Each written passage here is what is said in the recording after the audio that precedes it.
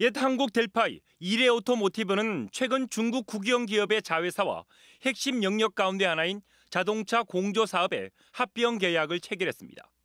이에 따라 공조 부분은 그룹에서 분리돼 중국 상하이 항천 기차 기전과의 합작 법인으로 바뀝니다. 지역 자본과 이레 오토모티브의 기술이 중국으로 빠져나가는 게 아니냐는 우려가 나오고 있습니다. 특히 합작법인 지분 형태가 중국 측 51%, 이레 오토모티브가 49%로 구성되면서 경영권이 중국에 넘어가는 게 아니냐는 논란도 커지고 있습니다.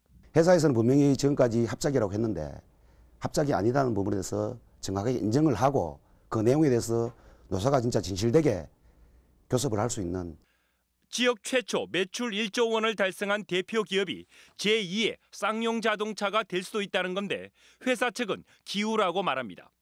회사 측은 지분 구성에 상관없이 이레오토모티브가 경영권을 갖는다는 점을 분명히 했고 핵심 사업 영역 가운데 하나를 독립시키는 것에 불과해 자본 유출도 사실과 다르다고 밝혔습니다. 공장을 중국으로 옮기는 것이 아니라 중국의 자본이 한국으로 들어와서 공장에서 생산해서 하는 부분이기 때문에 그 부분은 전혀 저들은 문제가 없다고 이렇게 생각을 하고 있습니다.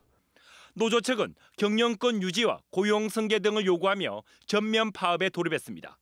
특히 노조 측이 제기한 분할 매각 중지 가처분 신청을 법원이 받아들인 것으로 알려져 논란은 더욱 커질 전망입니다.